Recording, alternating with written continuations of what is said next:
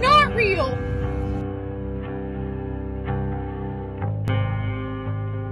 Ya ha pasado varias semanas desde que salió la noticia del video de una mujer que quería bajarse de un avión, ya que aseguraba que el pasajero al lado de ella no era real.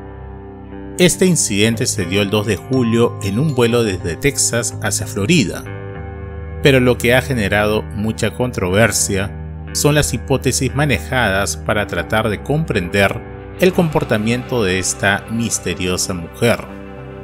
Muchos consideraban que se trataba de un simple ataque de pánico por parte de esta señora. Otros, en cambio, consideraban que estaba diciendo la verdad. El pasajero que estaba al lado de ella no era real, era un cambiaformas, o en otras palabras, un reptiliano.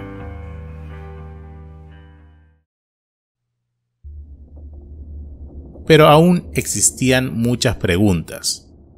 ¿Quién era esta mujer? ¿Fue detenida? ¿Qué pasó con ella? Hasta el día de hoy era un misterio, pero la protagonista decidió salir a la luz y aclarar ciertos puntos ante un medio de comunicación. Su nombre es Tiffany Gomas, de 36 años de edad, ejecutiva de marketing. Qué curioso, ¿no? Al final de cuentas, hizo buen marketing con su accionar, pero de acuerdo a ella, no fue nada bueno ni agradable lo sucedido. Enfatizó en que nadie conoce la historia de los demás y no deberían juzgar. Nadie sabe cómo es. Están vigilando mi casa. Están vigilando a mis vecinos. Están revisando mis correos. Gran parte de lo que hay por ahí es inexacto.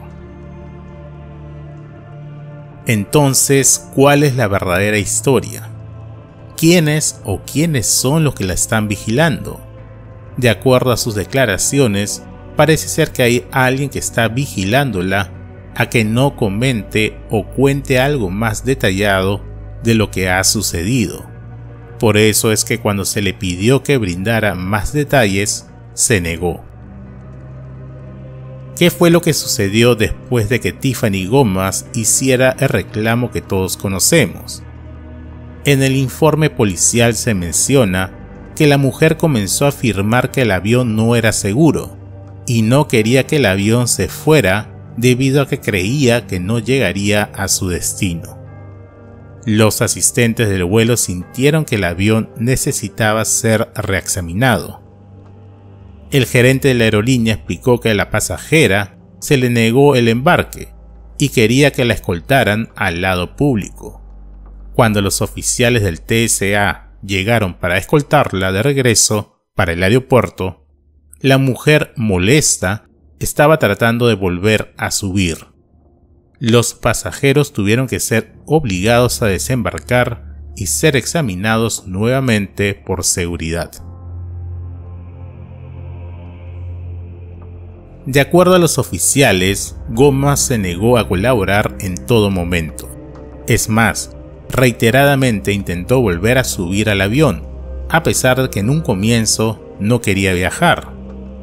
Finalmente la policía la encontró sentada fuera del aeropuerto esperando un taxi.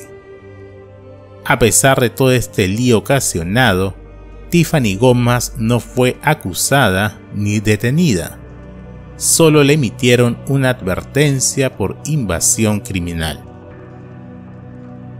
Así fue la aparición de Tiffany Gomas, semana después de lo sucedido, con el mismo peinado y los mismos aretes usados en ese día. Más que respuestas creo que nos quedamos con más dudas. Tratan de decir que la crisis fue provocada por una discusión con un pariente con quien viajaba, y a quien acusó de robar sus AirPods. Pero si eso fuera lo sucedido, ¿dónde está ese pariente? ¿Por qué en todo momento, hasta incluso después de lo sucedido, se le vio sola? No tiene mucho sentido. ¿Quién es o quiénes son esas personas que según sus declaraciones la están vigilando? parece ser que este caso seguirá siendo un misterio.